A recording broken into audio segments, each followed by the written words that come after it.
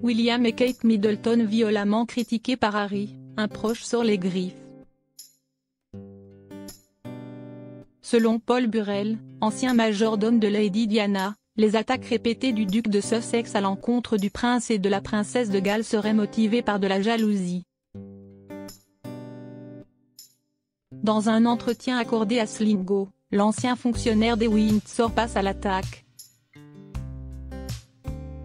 Il fait tout à la perfection. Selon Paul Burrell, un proche de la famille royale britannique qui a notamment officié comme majordome de Lady Diana, le prince William jouerait son rôle d'héritier du trône à la perfection.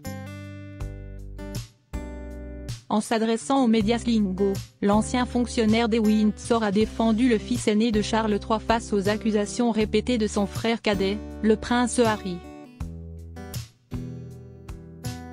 Car, depuis son départ de la famille royale en 2020, le duc de Sussex n'a eu de cesse de descendre la famille royale britannique dans les médias.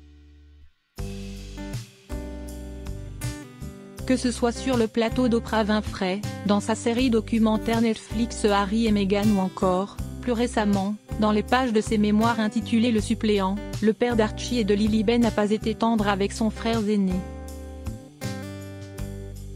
Il n'a pas hésité à déballer en public les fois où les Windsor ont fait passer les intérêts de l'héritier du trône avant les siens. Entre rivalité fraternelle et rapports musclés, le duc de Sussex n'a épargné aucun détail. Le prince Harry, jaloux de son frère? Selon Paul Burrell, le comportement du prince Harry serait provoqué par la jalousie.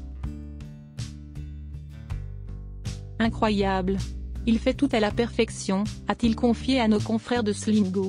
Il n'y a pas de critique à émettre sur le couple que forment le prince William et la princesse Catherine. Je sais que Harry l'a fait mais s'y est mesquin et je pense que s'y est en quelque sorte de la jalousie.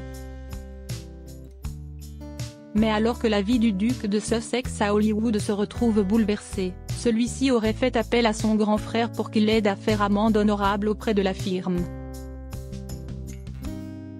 Mais le prince de Galles voudra-t-il seulement aider celui qu'il a déjà trahi plusieurs fois par le passé?